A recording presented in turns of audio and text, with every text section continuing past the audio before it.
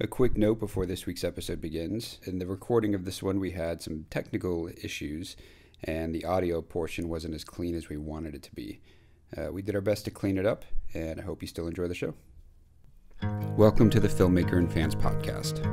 In this week's episode, we discuss the 2003 film Monster, written and directed by Patty Jenkins. Now, this is a very special episode because our co host Steven Bernstein was actually the cinematographer on this award winning film, and we explore topics such as the importance of collaboration in film, the balance between realism and cinematic storytelling, and the role of cinematography in enhancing the emotional impact of the film. This uh, this is a big one. uh, Monster is the film that we will be talking about. Uh, up to this point, and I don't know if we've been clear about this, but you so you've picked all these films so far. You, you actually picked all six that we're going to be talking about here. But this one, out of the mix, Monster, is uh, the film or the only other film in this this kind of mix that you actually had a very significant personal contribution to.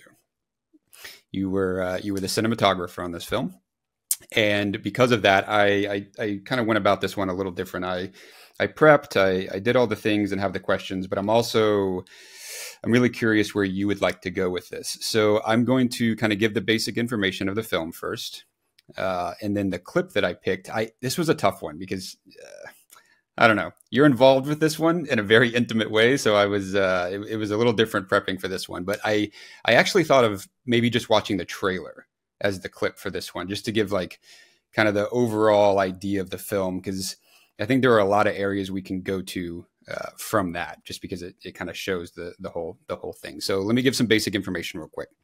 So Monster is the film. This film was released in 2003. Writer director was Patty Jenkins, uh, starring Charlize Theron and Christina Ricci. The summary of this one is shortly after moving to Florida, longtime prostitute Aileen Wuornos, played by Charlize Theron, meets young and reserved Selby Wall, played by Christina Ricci, and a romance blossoms. When a man attempts to brutalize Aileen, she kills him and resolves to give up prostitution. But supporting herself and a new girlfriend through legitimate means proves extremely difficult, and she soon falls back on old ways. More men die, and Selby can't help but think her new friend is responsible. As far as tone, this one is is definitely different than the ones that we've talked about before. So we will watch the trailer and then get into all the things. But before we start, any any thoughts? Uh, the film is not what is not about what it seems to be about. So people think um, serial killer. It's about love. I always wanted to be in the movies. I thought one day I could be a big star. You look good. Yeah. I guess you could call me a real romantic. Thanks. So you came. Yeah, I was around, you know. I thought I'd swing by. Men must just line up to be with a girl like you. I once heard this saying that's always stuck with me. All you need is love and to believe in yourself. Hey, lady love, you need a ride? It doesn't exactly work out that way. I mean, everybody's got to have faith in something. I touch your face. You're just so pretty. All I had left was love.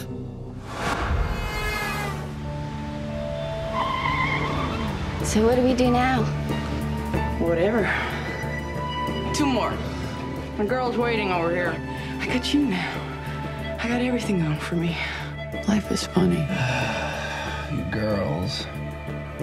But it's also strange how things can be so different than you think. You know what I always wanted to be?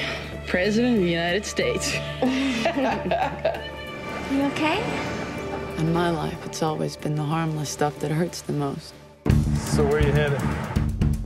We have to put the cigarette out. Let me have it. You don't know me! Whereas the thing so horrible you can't even imagine it.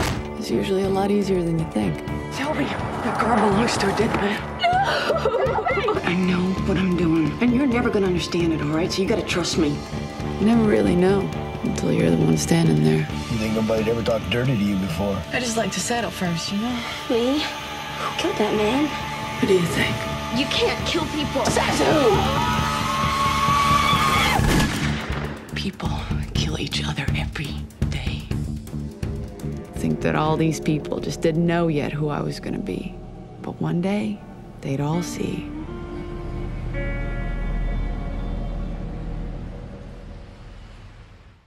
All right, so this is uh, this is a big one. I so I haven't watched this movie in a bit, and I rewatched it uh, last night in preparation to this, and it's uh, it's quite the it's quite the movie to get into. Uh, but I have I have questions, and I have you know I have all the areas that I'd love to dig into. Uh, but since you obviously have a, a, very close, intimate relationship with this one as the cinematographer, uh, I'm curious if there's anywhere that you would like to start before I start uh, peppering you with with everything.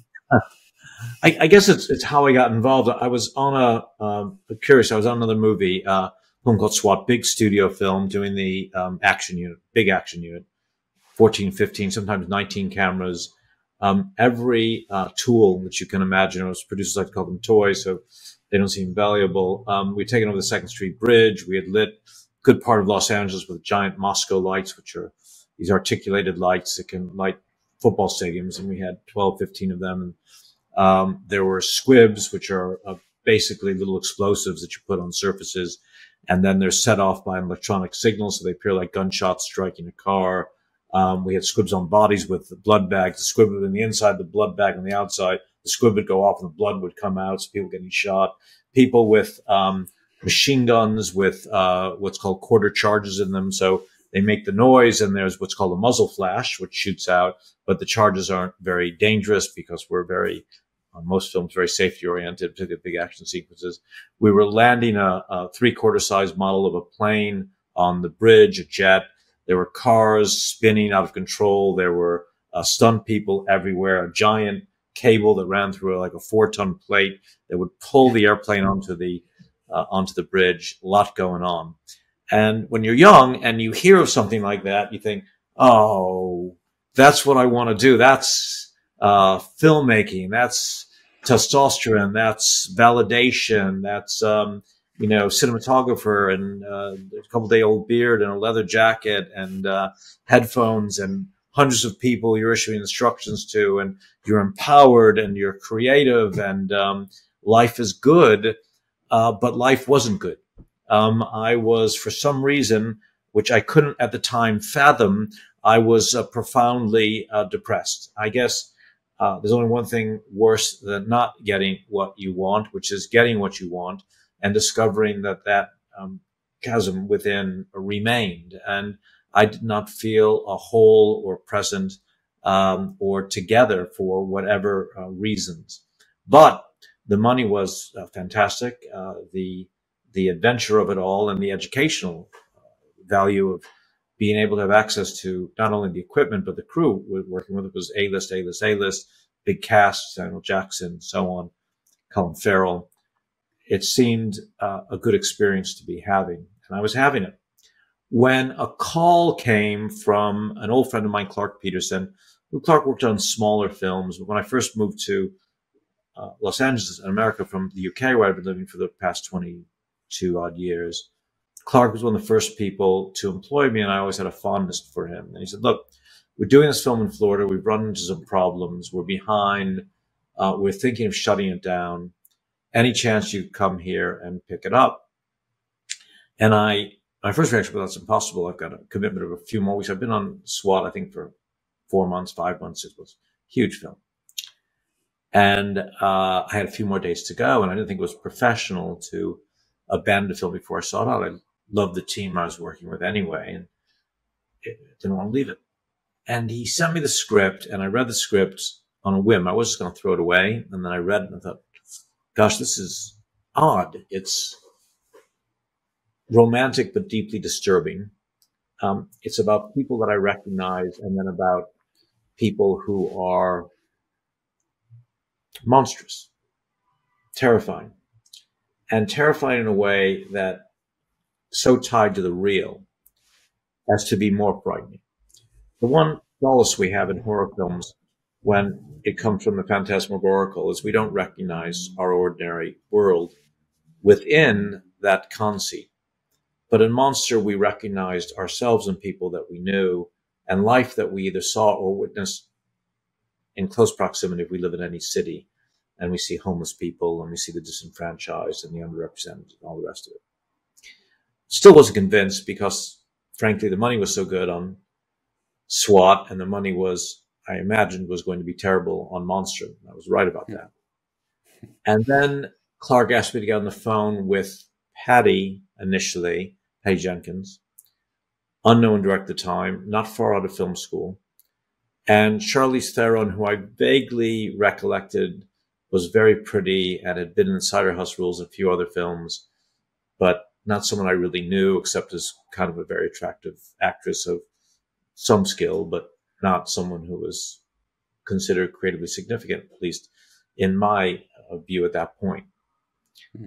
And they pitched the project to me and they had a passion and enthusiasm for what they were doing. And I realized it wasn't just kind of a horror film.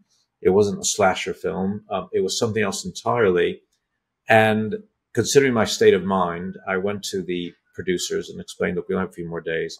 There's an independent film in Florida, producer friend of mine, really interesting director.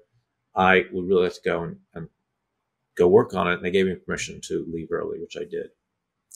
Kind of regretted it because then someone picked up like a week's worth of work and they got a second unit of co-credit, but that's the nature of our beloved and I arrived and they showed me the dailies and they explained they were two days behind, only been shooting for two days. And they had technical problems and the equipment was not working properly and the film was scratched and it wasn't what Patty wanted and the collaborations that you're having were difficult. And I spoke to Patty and Charlize and Clark at length and we retooled. Um, we changed some crew, we changed some equipment, we took some time off, we reconstructed, and we began working together. And, you know, Patty's a very honest person. Let me be honest. It was difficult at first because Patty didn't have a great familiarity with uh, feature procedures. Um, hmm. She would come and be adjusting lights, and I would explain to her, "No, Patty, a cinematographer does that." But, but that was a, a, very small criticism because what I did observe about Patty was um, she was a force of, of nature, um, very, very strong, clear vision, which I think is essential in directing about what she wanted. And that sounds easier than it is because there's so many variables in film. Performance, camera composition, how you edit it, the music. And every mechanism we employ is seductive.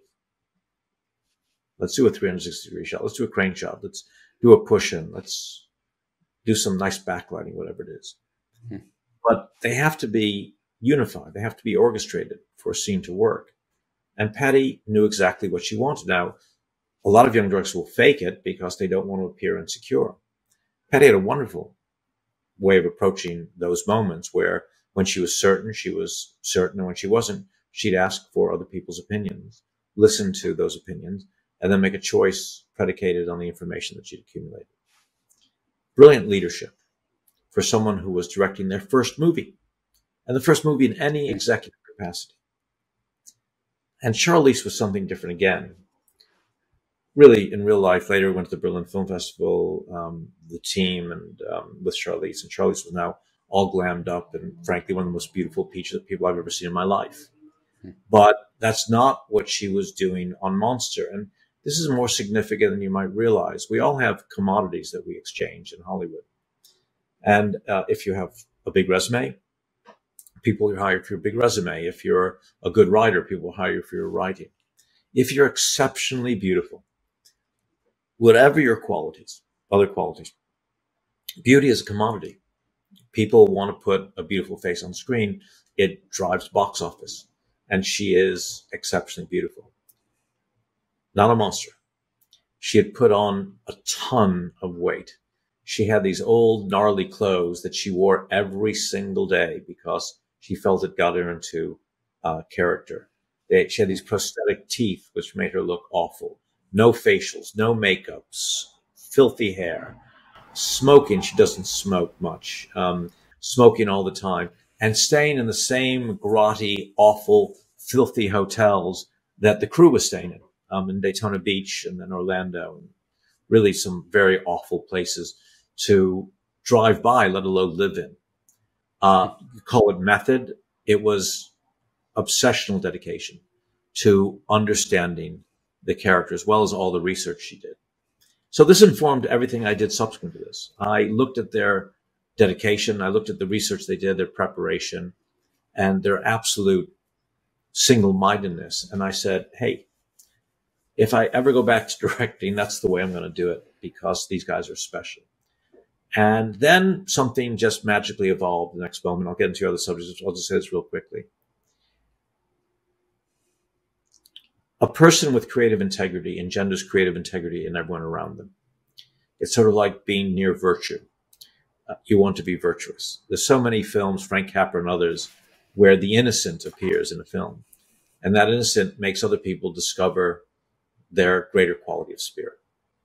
It's as if the, an exemplar makes us better people, that we live by other people's examples. Capra always had.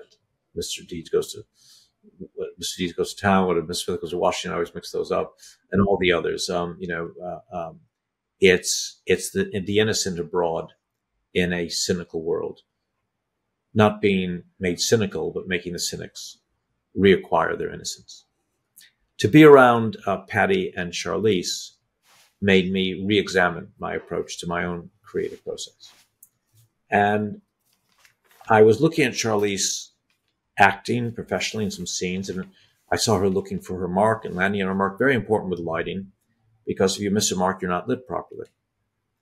But I realized that she was a very intuitive actress and had completely inhabited the character to the point where she was almost channeling. Come back to the scary part of that later. And I thought, you know, if the lights moved, then she wouldn't have to look for a mark because we could move the lights with her.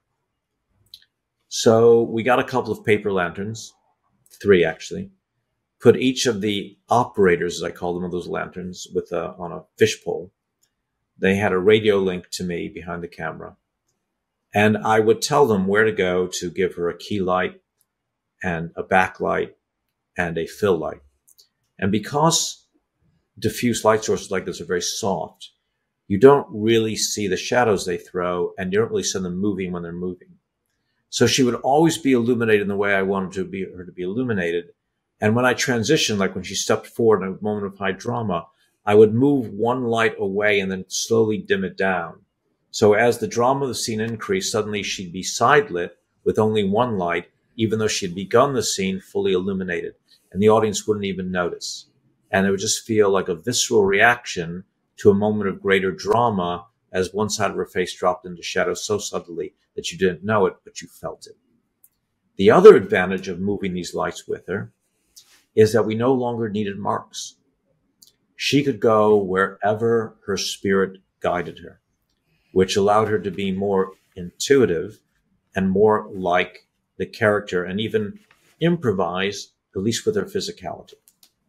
Now, there's a problem with that in terms of focus because uh, focus, when using a long lens, tends to be only a few inches deep. You can only hold a person in focus for a few inches, and you've got to rotate the barrel of the lens to keep a person in focus. That's what a focus puller does. And they have a remote control or a cable, and they mark the distances that the actor moves to. And then as the actor moves to different marks, remember those marks on the ground, the focus will be rotated just a, a depth of only this much forward and back to keep that face in focus. But she was moving all over the shop now. Hmm. So I had my focus puller move off the set to the side and we put marks hidden in the set that only the focus puller would see and Charlize wouldn't have to look at. So as Charlize moved forward and back, the focus puller would know how far she is from the camera and be able to roll the focus forward and back to keep her in focus no matter where she went. Particularly in the first murder scene, she was in the car, out of the car, running towards camera, running back, running to the boot, the trunk of the car, running forward and going everywhere, going mad and crazed, doing things that were entirely physically improvised. We had her in focus throughout and she was entirely intuitive and genuine. And at that moment, we all looked at each other. If we didn't, we should have. Maybe it's a puck rule. And we thought something magical is happening here. And so it went for the rest of the film with this fluidity. As that evolved later, uh, the camera was on my shoulder. No more tripods and hmm. dollies times, but for the most part, not. And not only was she moving, but then sometimes I would operate. Usually I have a camera operator, but I would operate and I would move with her in this kind of dance. murder scene. She jumps in the car. She jumps out. I back up. She goes to the trunk of the car. I follow her. She turns and looks. I push in for a close up because it seemed appropriate that we be a close up at that moment. She looks around. She's frantic. She comes back to see the person just shot. We back up and then we wrap around the car. We come around the other side and we shoot through the window and she's grabbing the body and screaming. We push in again and then back around for all in one shot. We cut it up later, but all intuition by the camera operator, the DP, with the lights, with the actress, everything facilitated because of the creative inspiration and leadership provided by a Patty who could go with this and recognized the ideas as they came forward and understood what she wanted and understood the sort of performer that Charlize was. It began with the integrity of a single individual Patty, then to Charlize, and then spread like a, um, a, a virtuous virus to all of us as we thought sought ways to facilitate what we knew was something very special. Oh my, there's, oh, this is gonna. There's so much. there's so much. Um, okay, I want to parse everything you just said, but let's let's back up just for a second. Um, you we've talked about Patty, or you've talked about Patty Jenkins already, so let's let's kind of focus on that for a second. Um, I'm curious about creative collaboration. So specifically, the collaboration between directors and cinematographers. So directors and cinematographers often have this like unique and, and, collaborative relationship that's really kind of central in shaping a film's narrative, and they have to work together to be able to do this when it comes to visual storytelling. Uh, so you've talked about it a little bit already, but can you can you talk and describe a bit about your actual collaborative process with Patty and how kind of that partnership influenced the visual storytelling uh, overall?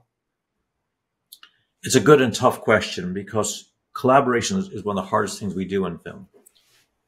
A painter paints by themselves. Musician very often, at least beginning, composes by themselves. A poet writes poetry. A novelist writes a novel. Film is almost unique.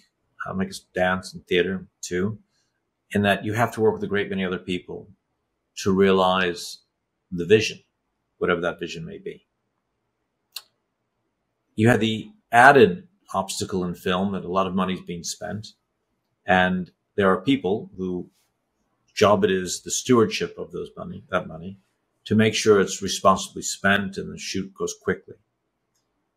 Usually the person who slows the film down the most is the cinematographer because lighting, setting up cameras and equipment takes a lot of time. So they become an important part of that equation. That means they're not only interacting with the director, but with the producers and the production company of the studio who doesn't want their film to go over schedule, over budget, which makes things very complicated. The cinematographer then has to decide who they serve, the studio and production company or the director. Very often your proverbial parsnips are buttered by the producers who are paying your check and will tell you you have a fiduciary obligation to them. But as an artist, you feel a more profound obligation to the director, for starters. And then, of course, sometimes you have directors who are more experienced than you and very often less experienced than you. And they may suggest something that you've seen or done before that you know in your bones as a creative artist won't work or won't function correctly. But part of your brief is that you are to serve them. But does service mean that you are uh, a sycophant?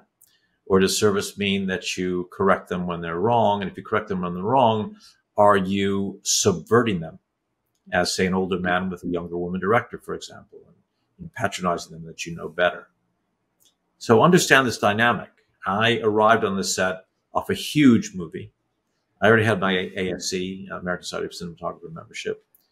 Um, I, Patty was on her first movie as a director. Very low budget. They were underpaying me dramatically. And I arrived to start taking instructions from someone few years out of the AFI Film Institute. And at first it was difficult for me because I thought I knew better about a lot of things. And some things technically I did know better about. And there were suggestions I would like to think, and I think Patty and Clark and, and uh, Charlize and everybody else would say that I did make a profound contribution. Charlie said at one time, I saved the movie because it was shutting down before I got there. It's very sweet. But I had to learn a special measure of humility. And it was Buddhist like in that rediscovering your beginner's mind. And rather than presuming that your superior experience made you superior, to affect a humility until you discovered a humility. So I said to myself, I have to serve Patty Jenkins, even though I am theoretically much more experienced than she is. And it took me a few days, and then I realized that I made the right choice because her intuitions, because very often they were intuitions, she didn't have the experience, were sound and brilliant and insightful and original and remarkable. So the more I surrendered uh, my ego, the more I discovered as an artist. It went so far as the photography itself. Cinematographer, we get paid to make beautiful, compelling, stunning images. We don't get paid, we think, to make grotty, documentary, handheld style images. But we should be because they're appropriate. And the more I talked to Patty about the nature of this character, the more Charlize and myself and the others talked about what the film was actually about, the more I realized that the visceral part of the movie was about decay. That the failing here was not of the individual, but of the society of which she was a part, which provided no support um, or solace for those who were disenfranchised. Hmm. And what Aileen Wuornos became was an inevitable result of neglect. Doesn't mean that she isn't morally responsible for what she did, but still significant. Now, Patty was articulate enough to explain that to me and then harness my skills to facilitate her vision. And what I learned there, which I should have learned earlier, was you have to supplement, you have to subsume, I guess, you have to surrender your own vision to another person's vision first in a collaboration and then discover those things you didn't know. If you believe and reinforce your own beliefs repeatedly, then you aren't open to change. And the best art comes from change. And you're more inclined to change by discovering uh, humility and the presumption that you're coming to a new world with an innocence uh, not actually proportional to your experience. You uh, so going right into Aileen's world, uh, I think this is perfect. So, you know, you hear you hear world building thrown around a lot, um, and I, am and you already kind of mentioned the the visceral and, and, the visual side of this this world, this you know Aileen's world. So, uh, I'm curious. I want to talk about your approach specifically to visualizing this world that you were mm-hmm. trying to create with this story, uh, and specifically Aileen's world. So, capturing a, a world in, in a you know biographical film like this one, it often requires this blend of uh, realism and cinematic flair uh, to to make things come to life, and and even the contrast between things like you know intimate close ups and, and wider shots can be this like really instrumental uh, device in in uh, in showing this kind of duality of this character's world, like Aileen's.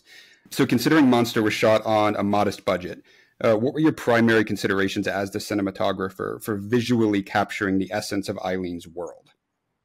Yeah, again, a great question. It goes to three things that I have to do as a cinematographer.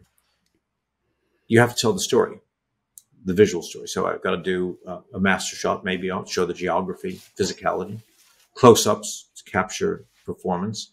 Someone's saying something, probably one on camera most of the time. We want a reaction shot maybe to what those people say. If there's inserts that are significant, um, one one time we were shooting in a, a, bar called the Last Resort, where the real Aileen Wuornos used to drink. and we had a scene when Charlize was on the telephone, and we are going to have her walk away from the telephone, and we're going to push in to the wall and see a brick there because each brick someone would write a message um, about their time at the last resort. So there are hundreds of bricks on this back wall outside, and all these people had written, "Got drunk here," um, you know, "Hate this place," "Destroy the place And we know that we knew that Aileen drank there, so we looked everywhere for her her brick. Couldn't find it. We gave it up. So now we're shooting Charlie, pretending to be Aileen Wuornos, by this phone. Still gives me chills.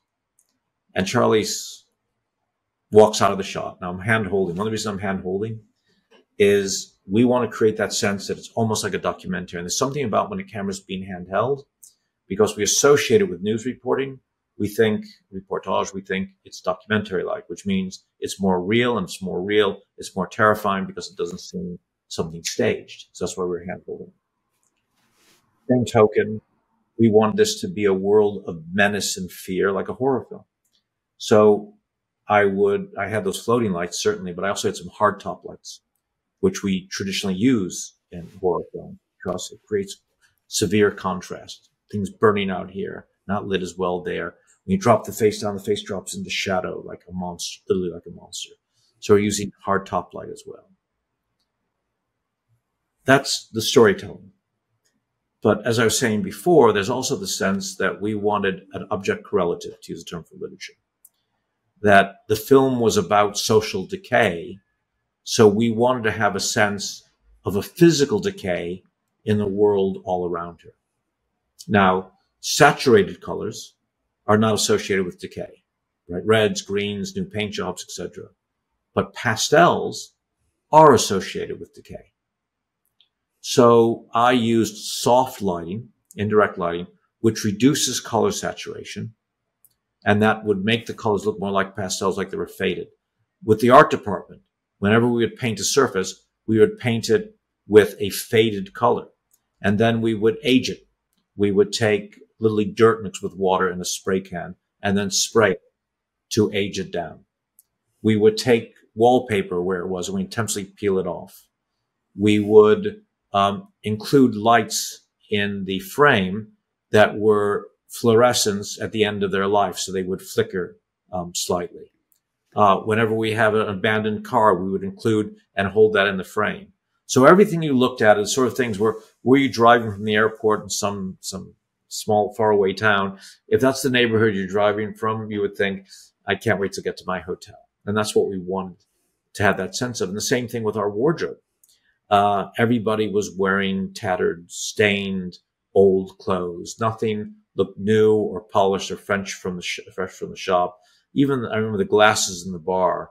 Uh, Patty had the, the props people dirty them up. So if you got hmm. served a shot, you were served with a dirty glass. Small things that created this visceral world. So, in the middle of all this, we had this idea that I wanted to tie Charlize to the physical space that she was in, and we are going to have her exit the frame and then push into these bricks with all these messages on them, um, just to get this tawdry nature of people living in like one of Dante's lower rings of hell, but writing messages to an uncaring world, messages to nobody, uh, messages in a bottle that wash forever in the sea. Uh, nobody's listening. Nobody is listening. And those messages to me were messages sent to a world that didn't care what the poor uh, in this dive of a bar had to say. What was magical about this moment, Charlize leaves. We roll the focus onto the brick that was directly behind her, and unbeknownst to her, that was the missing brick. That was the real Aileen Wuornos's brick. And we rolled into it. It came into focus. I thought my heart was going to stop, and it said, I, Aileen Wuornos, was raped. Now, obviously, we couldn't use that shot because our fake Aileen Wuornos was just exited the frame and hadn't written anything on the wall. But that was just one of those strange moments in a movie that happens that chilled the blood.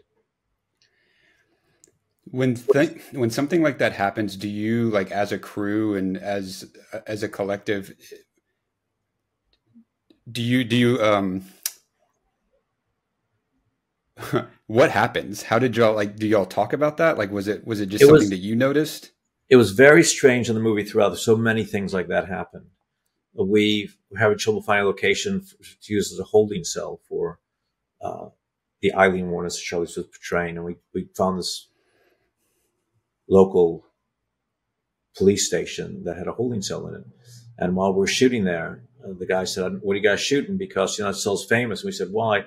Well, you know, when Aileen Wuornos was arrested for the first time, we put her in that cell. Do you guys know who Aileen Wuornos is? And we said, "Yeah, happens. We're making a film about her." It was lots of things like that happen on this film, strange and, and happy uh, coincidences and grim coincidences as well. One of the more remarkable things going to this idea of decay and rot. You know, rot comes from humidity and rain and moisture, and that's what Central Florida is all about. Our last day of shooting, we found through our location manager this wonderful amusement park, which was as tawdry as you could imagine. The sort of toilets, which are the um, the porta potties, and there's a hole in the ground, and you have all the people have evacuated and the bodies sitting. It's that sort of feel for it. Every ride is is worse than the last. The colors are all faded. Um, the food served there is, is diabolical. The people who are the habitates are come from the poorest part of the community. And Patty got there and was inspired by it, and it began to rain. How perfect! Because throughout the shoot, what you normally don't want is rain, but we wanted rain because we wanted to get that sense of rot and decay.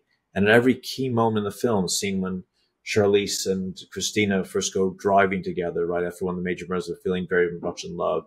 Um, in the back, uh, where the, we have a special mount in the back of the, the, the, the, the car, looking through the window, and I see the two of them in a two shot, and the rain comes. So the rain's pounding on the window, and the windshield wipers are going, and I lean out to the side of the car, and um, uh, Christina's put her hand out of the window, and then she begins playing with the wind, um, and the camera just sits on her hand. Uh, again, this sense of these people who are trying to live a normal life in an abnormal world, to find some connection with another human being in a world that's entirely indifferent um, to their to their fates.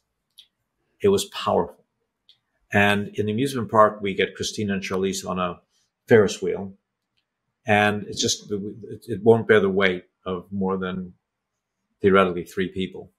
In fact, it wouldn't bear the weight of three people.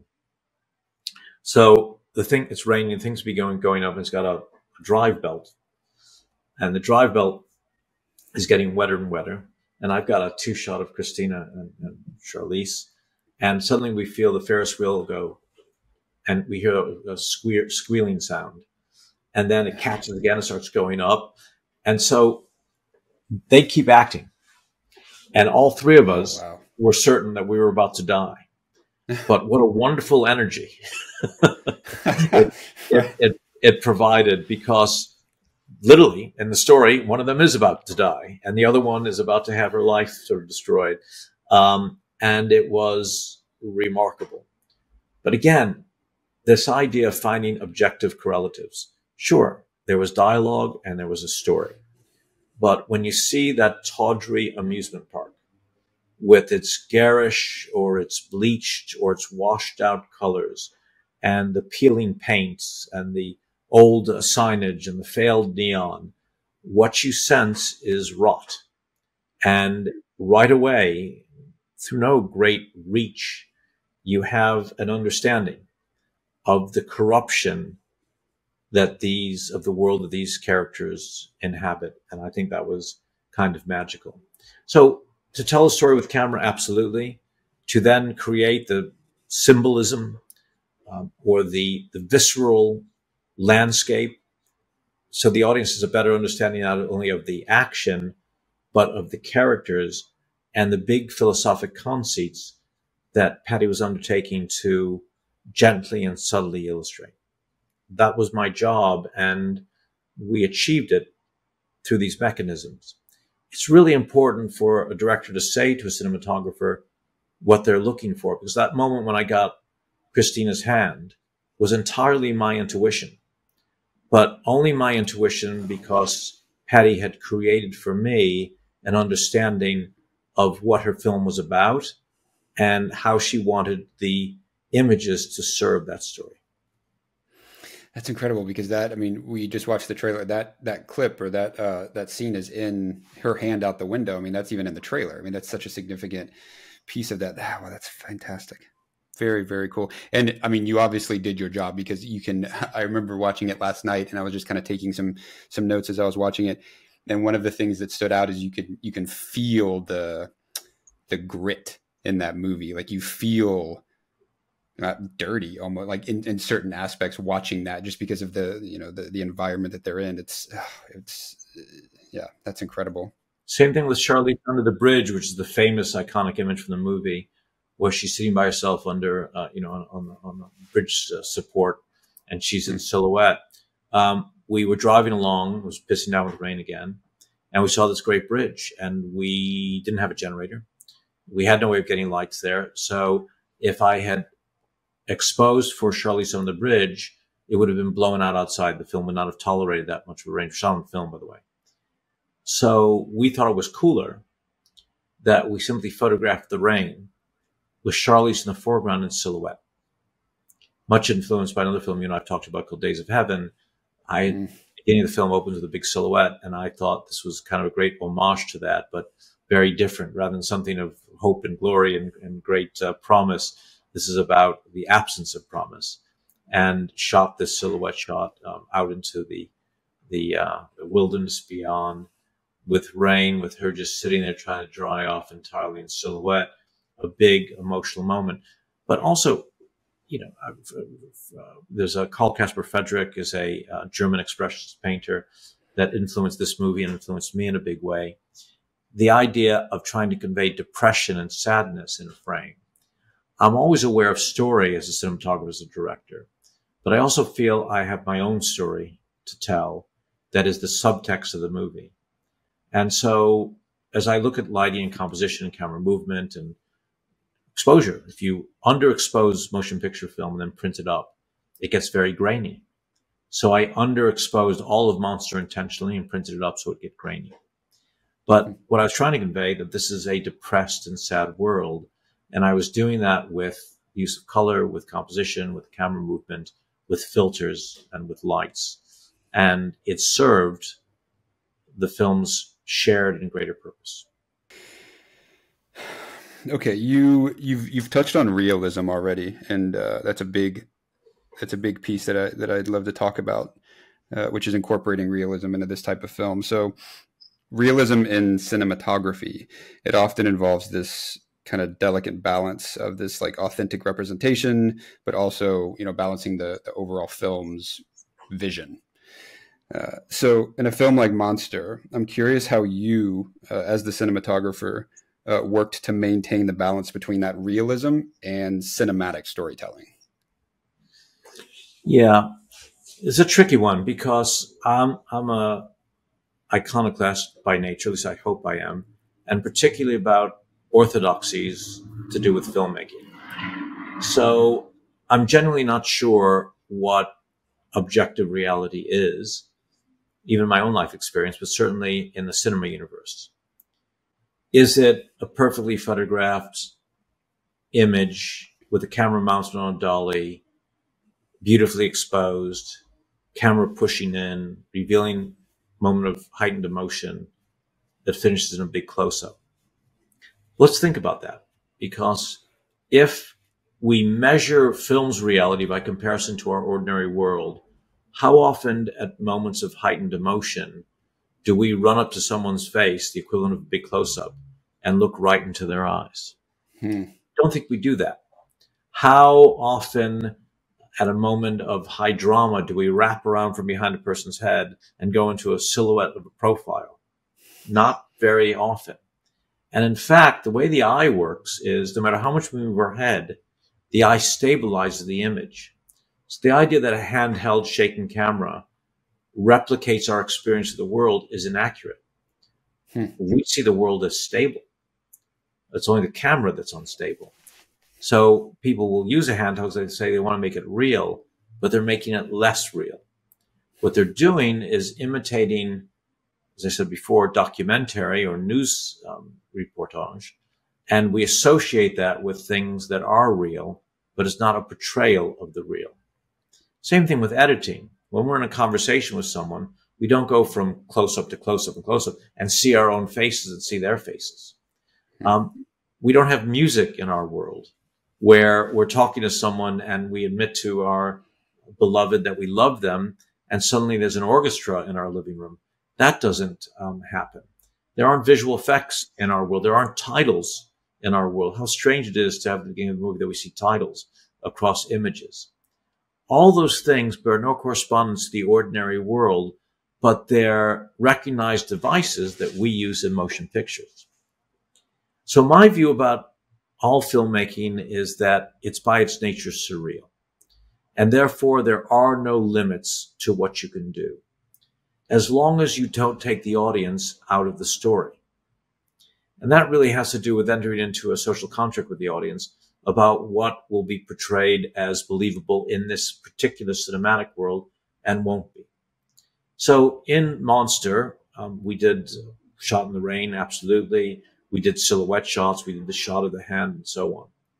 But if you look at the film generally, it seems like something that you might have experienced, not in the real world, but in a documentary because of the production design, because of the way the camera's used and the way it's cut. There's music in the film. There's titles, of course, subsequently. There's editing. There's push and lots of push and shots. Um, a lot of wraparound shots, even a couple of crane shots, um, even some green screen. But it's done in such a way that it doesn't pull you out of the film.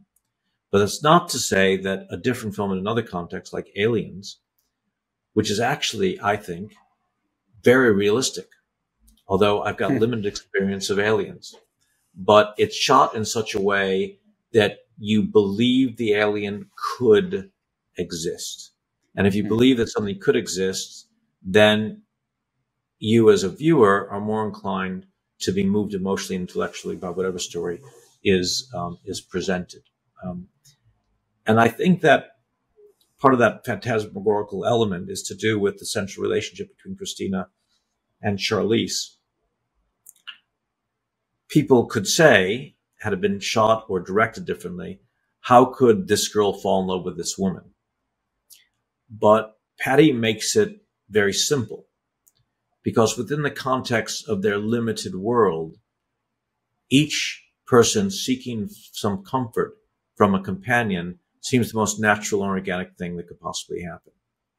And something that even though it is in this world that's different from our own, we can recognize our own experience of life in it.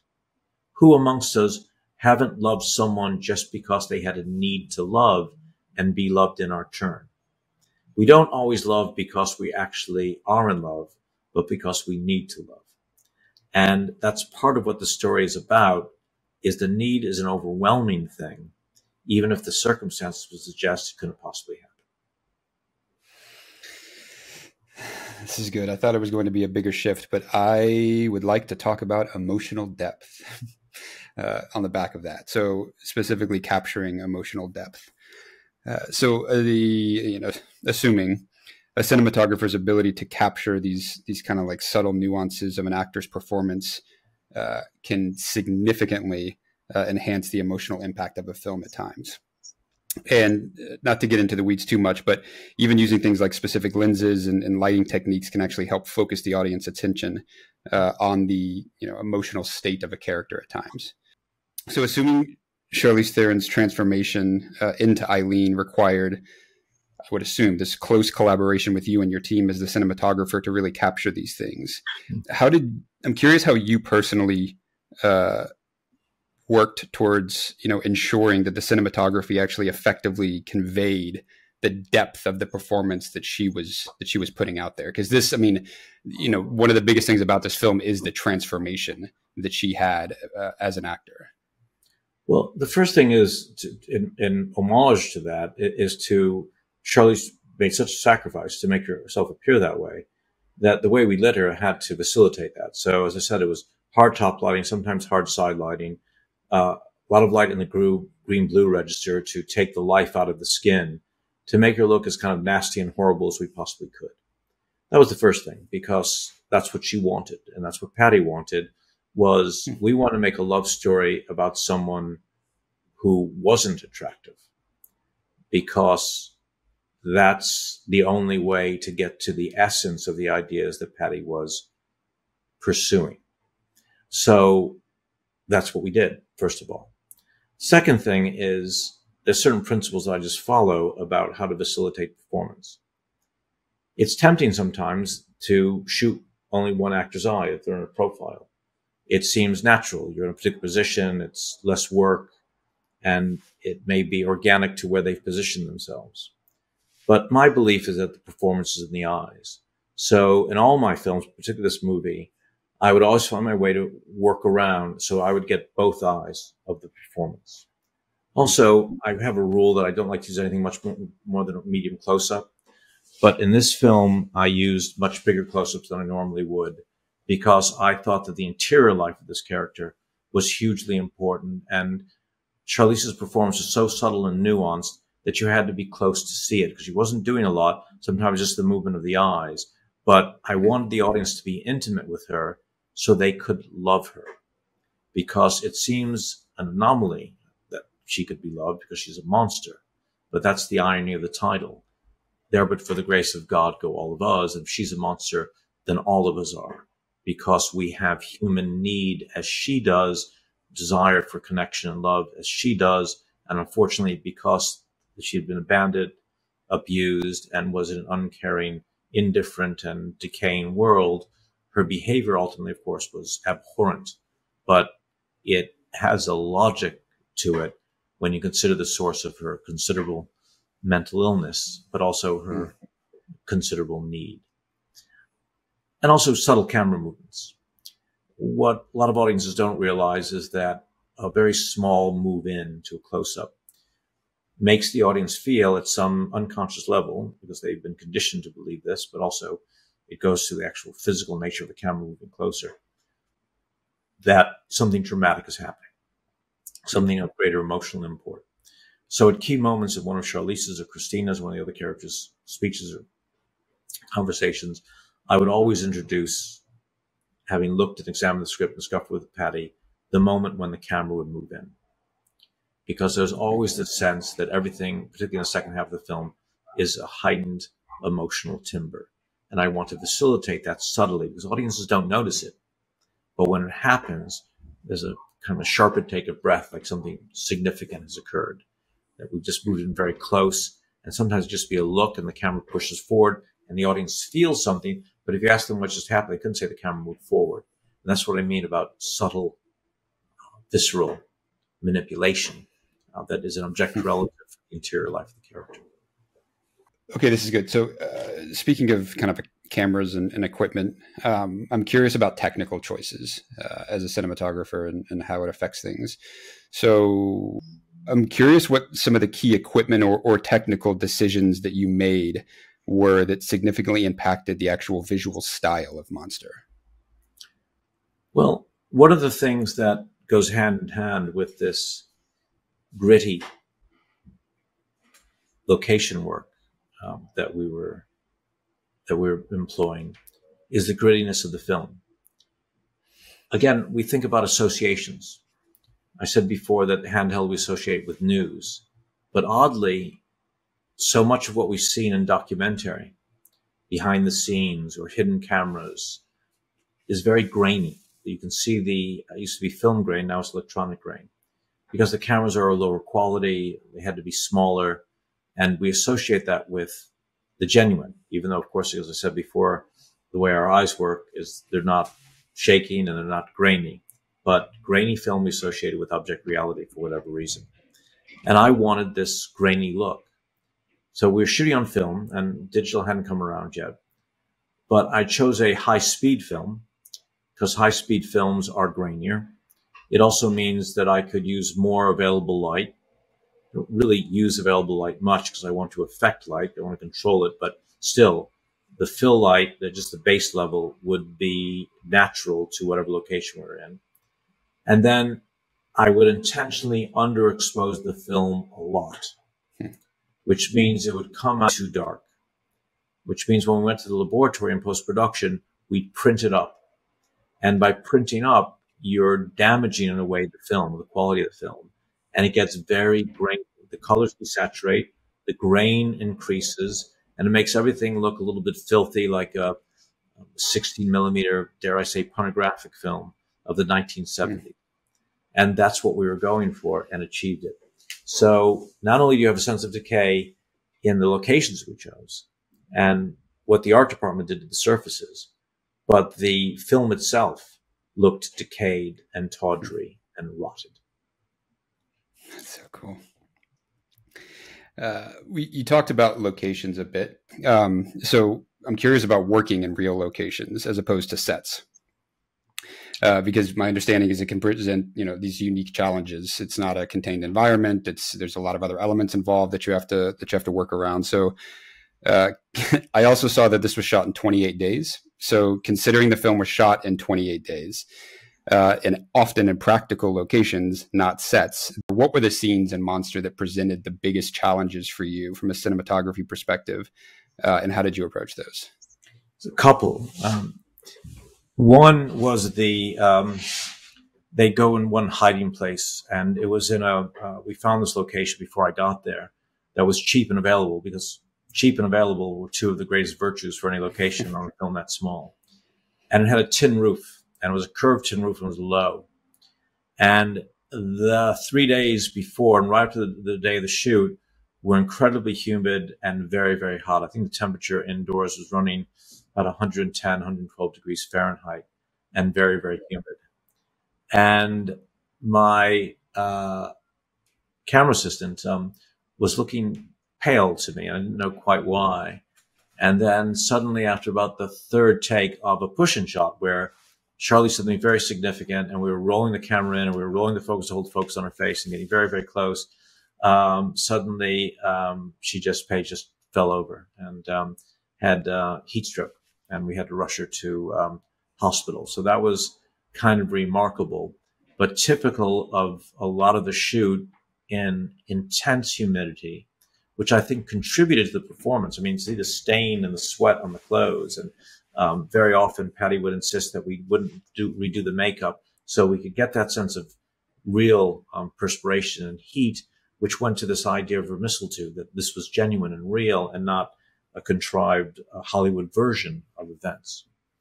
Mm-hmm. And then there was this famous skating scene, uh, famous skating scene uh, in a skate park. Um, and again, this curved roof. I don't know what it was about Orlando that like curved roof, which is a nightmare for a cinematographer because sure, at the, at the apex, there's plenty of room to hide lights, but because it's curved, when it gets down around the bottom, the ceiling is in the shot.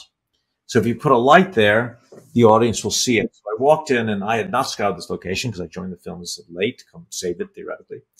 And I walked in this location and uh, Ted Hayish, my gaffer, and I looked at it and we said, uh, hmm, this is impossible to light because our lights will be in the shot. And we thought about it and thought about it, and we came up with a solution you only come up on a low budget film in a hurry. There are things called bats, which are pieces of wood, um, and you put just the lighting fixtures on the top, the little sockets the light goes into. You then run the cables along those bats. You put light, like four light bulbs, and you got a light, very rudimentary light, just bulbs. And we thought maybe the skating rink uh, had decorated their entire building with light bulbs, and it's part of their their design.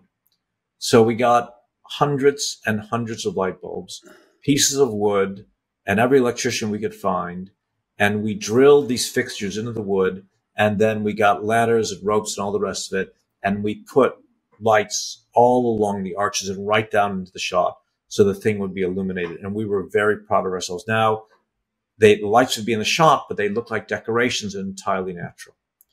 And then what we would do with Charlize and Christina as they skated was my um, grip, um, Vidal Cohen, had designed a little cart, put small skate wheels on the bottom. The camera would sit on this cart, and there'd be three grips um, that would run around and push the cart with the camera on it in front of Christina and Charlize as they skated.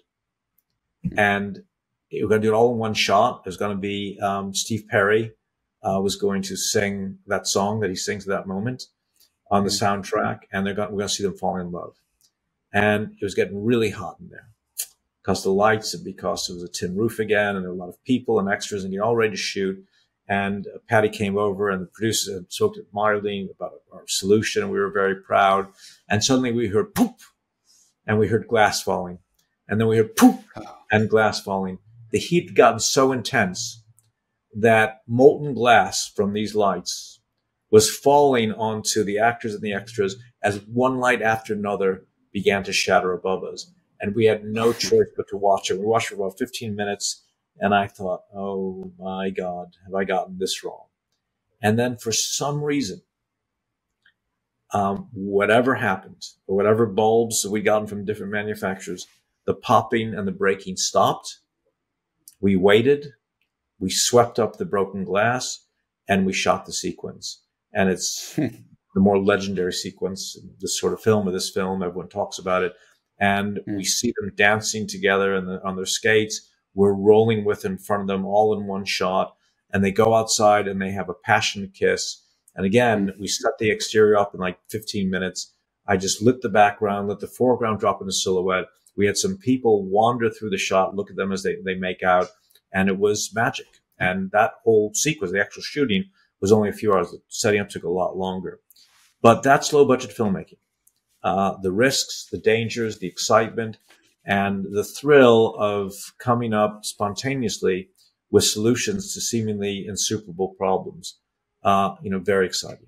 It's kind of at that point, that point that we all began to realize we were onto something and something very special was happening uh, on that film. And I talked before about this kind of virus of virtue that had spread through the crew, and everyone was getting into it. Was, we had a dolly grip who was big, broad-shouldered, enormous guy with tattoos, scared the hell out of me, but pushed a good dolly. And um, the next day, I think it was two or three days later, we were shooting the scene where Christina and Charlize were saying goodbye to each other. They both know the other betrayed them some way and they're, they're going to say goodbye. And it was a big emotional moment. And normally with crews, crews are kind of cynical very often to the working part of the crews. They've seen it all before, kind of vaguely aware of what's happening, but not interested. This big grip came up to me and he said, uh, it's really incredible what Charlize and Christina are doing. So I wonder, you know, maybe if the crew was like silent when they were working, just let them concentrate crews are not silent. We're yelling, we're shouting, cables are being drawn. Um, lots going on.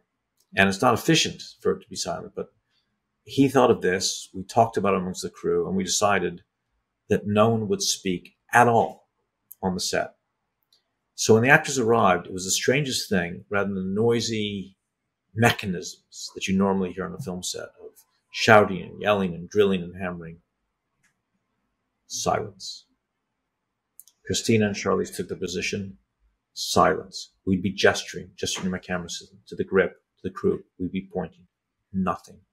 They began doing this scene of confessing their love to each other against the wall. And like I said before, for dramatic emphasis, subtle, unconscious dramatic evidence, uh, dramatic uh, emphasis, the camera would push in on the track closer and closer and closer as their passion um, and the tragedy of the denouement of the relationship was realized. Complete silence. And there's a synergy that happens between crew and actors, which most people don't realize. What was magical early in the film about the hand holding and the moving lights was that Charlize could run with her intuitions, and the performance was wholly organic to her individual personhood and understanding of the character. But now we'd gone one step further and we were no longer functioning simply as professionally, but as a synergetic extension of those performances. And we facilitated them and the performances were magical. And we were all moved by this moment of tragedy as you rarely are as an artist or technician on a set. Dead silence, except I began to hear a sniffling. Someone was crying. And I was very worried that the microphone would pick it up. And I looked to the camera and Charlize wasn't crying. Not till later. Christina wasn't crying, looked around. And then I turned around and looked at the house that was my dolly grip, who was moving the dolly, this huge, tattooed, terrifying individual. Tears streaming down his face as he watched the performance. Now, those events happen rarely in film, but when they do, they are magical. And it goes to why we make film, mm. why we gather together and collaborate and genuinely try to discover transcendent nature that we share, that we can observe in character and other characters, but also in each other, because a film set is a crucible of endless tension where your metal as a human, as a creative artist, as a collaborator are tested. And if you can survive it emotionally, intellectually, spiritually, then you are a better and more evolved person. And the product of your labor is better and more significant. And that's what happened on that film. Are you able to? I mean, 28 days is such a short amount of time to get all of that done. When those things happen in that that kind of environment and that that type of experience, in the moment, are you able to realize it and and be like connected to what's going on, or is it just there's so much going on that you have to move on to the next thing? Well, at, that, at, that, moment, we were, but a lot of, in the evenings we'd gather together sometimes. One night, like four o'clock in the morning, having a long conversation with Charlize, just about life and generally she couldn't sleep. I mean, none of us sleep in that hotel. The, what was in those mattresses was terrifying. So we'd often wake at night just like worried about what, what was biting us and what was attacking us. Uh, Patty and I would talk about a lot of things. Um, I remember when the shoot finished at that amusement park and the, the built up emotions of the entire crew. I've never seen so many people not at a funeral crying at the same time. But it wasn't mm. the, the, crying of grief. It was because we had built such a bond that we knew that it would never be repeated. That's the sadness of the last day of any shoot is that the family that you've created, you know, you'll never see again in that context together. So there's that sadness, the sense that we'd achieved something special and magical, the sacrifices we've seen each other make, um, all that um, came to the uh, came to the fore for sure. Um, but in the moment, do you realize what's happening? Not wholly and real, not always certainly wholly, and you're under such pressure on a short schedule that you're really only thinking about what you can achieve that day. I know at one point near the end of the shoot, we had to do about 28 setups in a day. Big feature, you average about 11, maybe setups, maybe eight or nine, maybe five or six. 28 impossible. And really it was closer to 38 because it was shot in reverse. So a lot of people said, just give it up. Patty's got to cut something. And at this point, Patty and I were not taking any prisoners. We're not giving anything up. We're going to achieve this. So we combined the locations. Locations were in like four different places. We were going to cheat some shots that were meant to be behind a building. We found a wall that could cheat for that building. Another part was meant to be in a forest. There's some forest in a clearing near that building. We're going to shoot that and cheat it there. Uh, another part was meant to be a fire that happened earlier in the film. We're going to be close to the fire. We cheated there. And we lined all these up. I put the camera on my shoulder, um, even though I said to my operator, stand by, but I, I just going to have to figure this out as I go without any planning. We got those lights up on those um, paper lanterns on the fish poles and we began to run, set up, shoot, spin the camera back, get the reverse, done. No second take. Next. Set up, pan, close up, zoom in, get that detail done. We did 41 setups in six hours and virtually every one of them's in the movie and they work. So, and by the way, talk about schedules. Um, GRQ was way less than 28 days. And people look at it and they say, oh, it took three months to make this. You got so much going on, green screen effects, and so on. No, we had no money, very little money. Uh, we built a set. We had some green screen, we had some locations. And then I've become kind of uh, this savant in terms of using multiple cameras. So I've done it so often on SWAT, on Monster, on White Chicks, on so many other movies. Because I'm a great believer in getting shot and reaction at the same time and getting your master. And if you use long enough lenses and you light in such a way, you don't have to compromise your lighting. But by using multiple cameras, you get more organic performances, good action and reaction from actors at the same time. So using those um, multiple cameras on GRQ, um, we were able to get, you know, 40 setups, 50 setups a day and shoot in, I don't want to say how few because people won't think the film's good, but way less than 28 days and finished early every single day. So it's doable. And I'd go so far, and what the actor said to me subsequently and the, the crew members is there's a great advantage to shooting quickly and it concentrates the mind and focuses the actors and makes things better.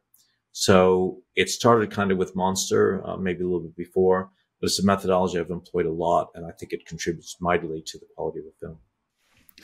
Okay, so this this is great. This takes me to kind of the last question I have, um, and you know, again, this film is different than the other uh, the other ones that we'll be talking about, just because of your involvement. So, this this film is based on a true story, right? And I think it's the only one that that we're that we're going to be watching and talking about that is based on a true story. Uh, and films based on true stories, they often require, and you've already pointed to this, extensive research, uh, which can help contribute to the filmmaker's understanding of, of just the subject matter in general of, of what the story they're trying to tell. So, considering that Monster was this significant project in Patty Jenkins' early career, and likely, I would assume, a learning experience for the entire crew, uh, based on everything that you're saying, uh, were there any moments during production that were significant to you, either personally or professionally, from a growth and learning perspective? I do think that my learning humility was important, but then also my learning that I have to subsume those things that would best serve my career to better serve the film.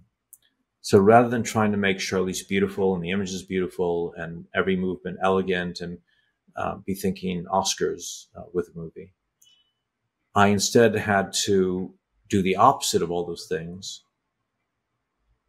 to employ a lot of mechanisms to make the audience feel the things we want them to feel without making it obvious to them that we were manipulating them. And that was an important lesson. I also recognize from that movie that total commitment and integrity, creative integrity, was more important to me than I realized. I started this discussion with you about how depressed I was on SWAT, not because the people on SWAT weren't good people, the film wasn't great. I'm very proud of my associations on that. I'm very proud of the movie but it had to do with I shouldn't have been there at that particular moment.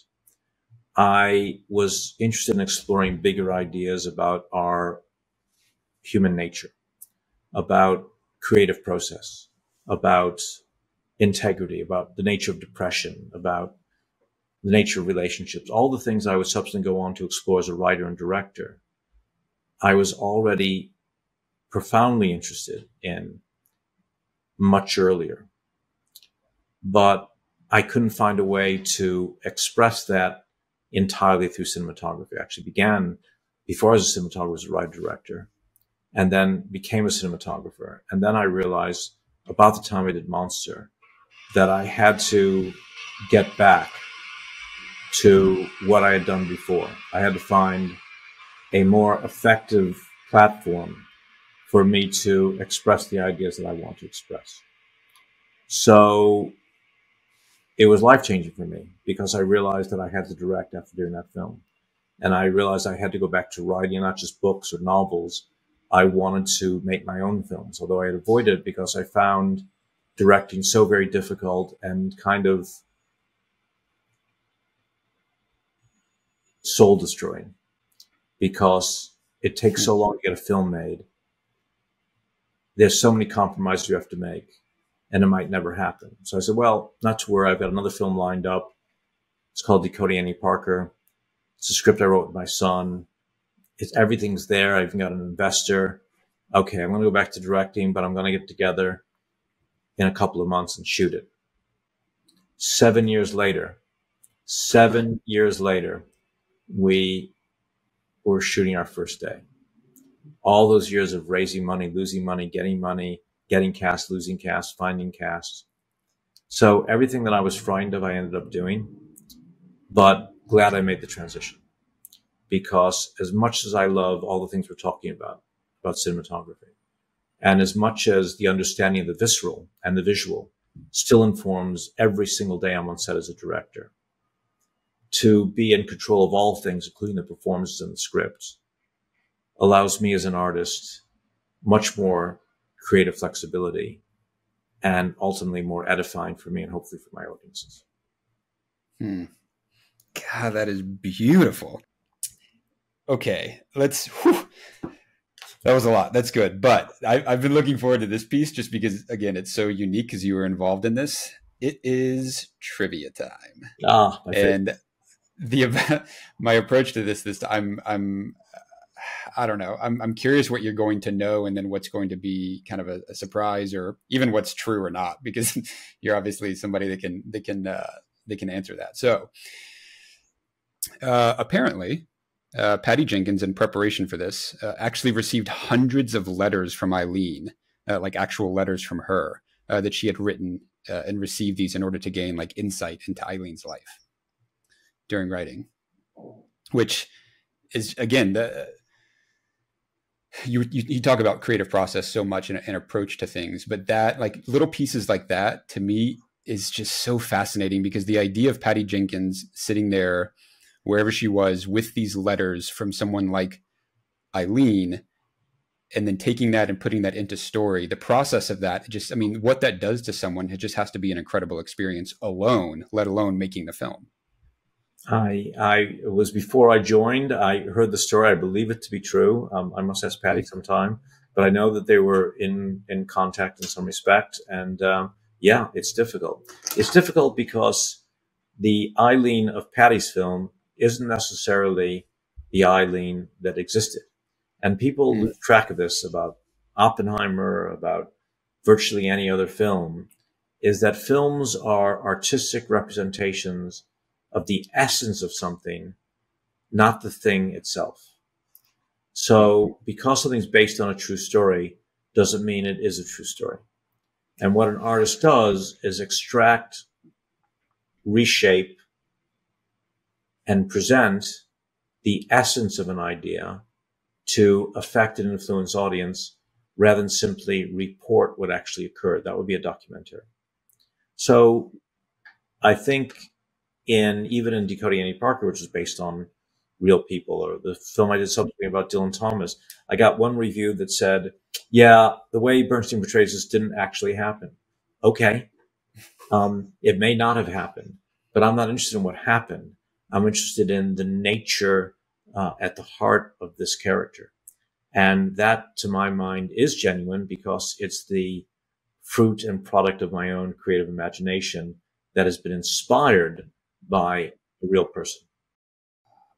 There's one that I'm saving for last. Okay, so Charlize Theron, she obviously won um, the Academy Award for this for this role, uh, but apparently she won the award on February 29th of 2004, which was Aileen's birthday. That sounds like one of the coincidences that went to go to the nature of this this film. It's the tragic coincidences, the profound one. Uh, um, yeah, it's, there's a lot of sadness around this movie and a lot of joy as well. Remember when she got this film, this film that went on to win an Oscar and make so much money, she couldn't get anyone to buy it. Nobody liked the film. Nobody thought it was good. No one thought that anyone would go to see a film about a serial killer and she did sell it. And uh, originally it was Blockbuster, and Blockbuster said, "Yeah, we'll just we'll just a couple of pretty girls as uh, seeing what they're making out. Um, you know, we'll sell it in, a, in, in a, a, special display inside Blockbuster." And then Patty and Charlize pushed very hard and said, "We'll only do this if you give us a limited theatrical." Means a couple of screens. And Blockbuster said, oh, well, all right, if you give us something in exchange. They gave up some holding or back end or money, and they put in this one cinema in New York and one in Los Angeles and there was a line outside the cinema and then a bigger line the second day and a bigger line the third day and the line was around the block and then it was five cinemas then 10 then 15 then 40 60, 80, 100, 200, 300, 740 screens, I think it finished at. And that little tiny movie shot in 28 days made an awful lot of money and won an Oscar, a Golden Globe, and uh, was one of the most celebrated films of the five years previous and five years after. So you just never know. But the fact that um, Patty and Charlize and everybody else made this remarkable film, and then no one would buy it or put it in distribution was a remarkable thing. Yeah, that's incredible. Um, all right, and last one, uh, and I'm curious what your thoughts, just writer, director, all the things. Apparently, uh, Patty Jenkins wrote the screenplay in seven weeks, and production was set up in two months. Now, I know you came in, uh, I guess, after that point, but is that uh, that seems spot, fast? Spot spot. Now, almost accurate. I mean, um, she was uh, was around before that, trying to get cash. She had to get Charlize but once Charlize was on board, which was very early, then everything went very, very quickly. I can't um, go to the veracity of those exact dates, but I know it went extremely quickly because uh, Brad Wyman, who was one of the original producers, Clark, um, Charlize, and Patty all worked around the clock to put this thing together in a in a record hurry. Because, as I say, usually films take two, five, six, seven years. It was quick. Oh, Steven, this was a joy. Uh, that's all I have. So, any uh, any closing thoughts on this? Just for anyone um, in life, how was I to know that I went from SWAT, which made a lot of money, to a little movie in Florida, which seemed destined for nothing? Same thing happened to me on Water for Chocolate. I came over to finish another cinematographer's work, and it was very obvious this film was never going to get released. They didn't have the money. The shoot was chaos, and became the highest grossing foreign language film of all time. Um, I did a little film uh, about some guys smoking dope up in Canada, um, comedians done like sketch comedy, and everyone at the time thought it was kind of a terrible movie. Became half baked, kind of this huge cult film. White Chicks, um, a movie that was kind of farcical and that was going to do okay. It has become one of the biggest cult films of its nature of all time. Unknown actor appears in it named Terry Crews does this crazy improv- improvised dance and knocks it uh, out of the park and becomes very, very famous. Uh, it goes on and on. You don't know when you begin a film how it's going to finish. You don't know what's going to be successful and what isn't. You, we all want to plan our lives and our careers thinking that there's some certainty in our imagination, that there's a mechanism, kind of like AI, that you put in information and it will give you the correct answer. But there isn't a correct answer. There is no certainty. The only certainty is that there is constant change. And the zeitgeist changes, the nature of the film you're working on changes, and you don't know how it's going to come out. But if there's a lesson in all this, in all the films I've worked on over this long career now, it's perseverance that you just keep doing and making and hoping.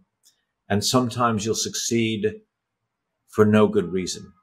And sometimes you'll fail despite doing some of your best work. But the joy of filmmaking is you extract something of value, as I did from Monster, from every single thing you do. It builds character. It builds sentient understanding of other people's suffering and the individualism with which they look at the world it gives you a perspective that you wouldn't have if you did virtually anything else. It is a collective art form which requires not only your own keen insight, but for you to collaborate with others on having a reckoning about what your film's about and how the film's going to be made and how you can best facilitate others and how you can get others to best facilitate you. So it teaches you about human interaction and about creating success from virtually nothing, like doing a film in 28 days in the humidity of Florida.